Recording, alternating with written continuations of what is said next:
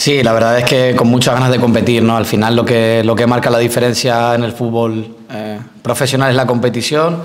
Es verdad que hemos aprovechado estas dos semanas para, para trabajar muchísimo con el equipo. Creemos que ha sido eh, muy provechoso y además que, bueno, esto es un factor que depende claramente de, de las futbolistas y lo han querido así.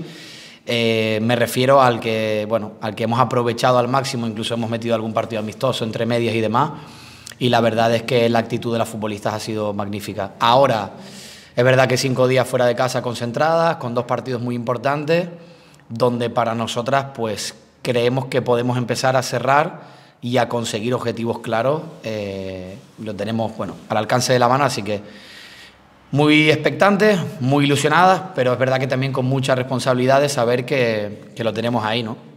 Sí, el Valencia Club de Fútbol al final es un equipo que que siempre responde bien ante la competición. Además, bueno, eh, nos hemos encargado de, estudiar y analizarles también con el cambio, del entrenador, eh, el cambio de, entrenadora en este caso, ¿no? y la entrada de Jesús.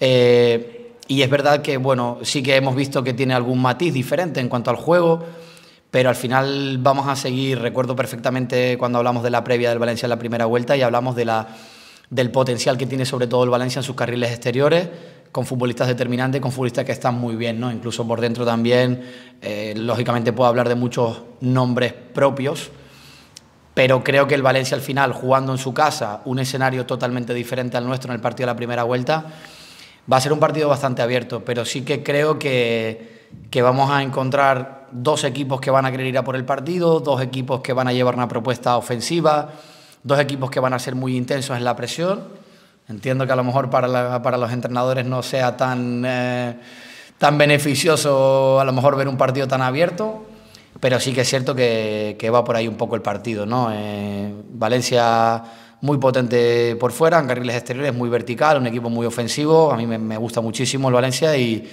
y, creo que es muy buen rival. ¿no?